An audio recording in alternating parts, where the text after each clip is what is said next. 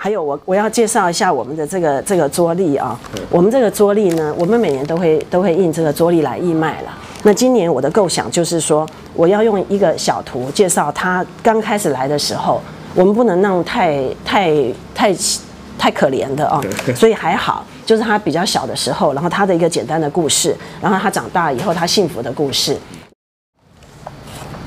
这只狗叫做四物鸡，我不知道为什么他们要取名叫四物鸡啊。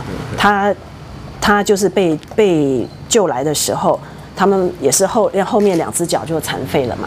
那医生评估以后，因为你留着半截脚，它重量比较重，而且它顶在地上也会受伤，所以他就把它整个截肢，它只剩下两只脚。网站上面它吃饭是用一只脚吃，另外一只脚是它像超人一样啊，用单只脚吃饭。那他的个性也是很活泼，所以他在年初他就被送出去了。他送出去以后，他非常的快乐。你看那个妈妈对他很好。我们在送狗出去以后，有些人也会质疑说，送狗出去是不是也会被抛弃啊？可所以，我们对于这方面我们做的非常的严谨。除了当时我刚刚讲的，我们在慎选领养家庭以外，我们还会九汉娜她在今年花了一个月的时间，三月的时候到美国各地。去拜访认养我们这些动物的家庭，我们有把这个做成影片放在我们的 Facebook 上面。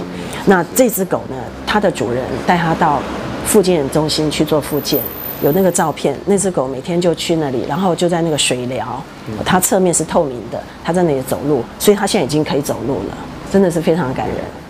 所以我常常有机会，我就会把这个组织要向我的朋友介绍，希望他们去。做一些事情，呃，有钱出钱，有钱出力嘛。呃，如果他们愿意捐钱，当然很好。如果他不方便也没有关系，他可以把这个事情告诉他的朋友，因为每一个人所诉求的服务对象是不一样的。那我自己呃选择了这个工作，我觉得呃我做的很愉快啦。我觉得虽然说很忙，因为嗯。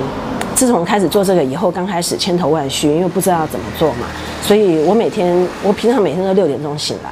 我自从做了这个工作以后，我五点半就起来了。我常常都说，上帝五点半就叫我起床，啊，让我来思考说要怎么做。那现在一年了，我觉得呃，目前都还蛮顺利的，因为我们除了我们的员工都很好以外，那也有很多很爱心、有热心的人，像我刚刚讲的，呃，我们的。认养活动需要很多人来帮忙嘛，哦，都会有很多固定的人来。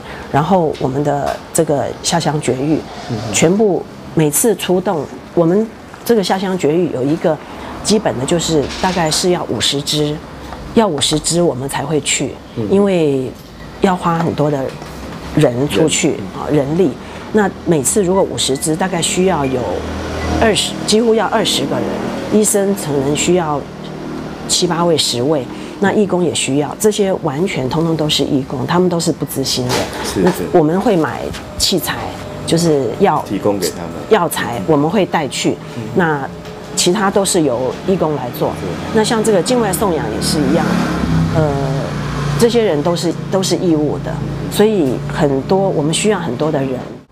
你不一定要喜欢狗，可是你可以帮助这个组织，让它为社会做更多的事情。套句我们协会常用的话，我替那些不会说话的猫猫狗狗谢谢你。嗯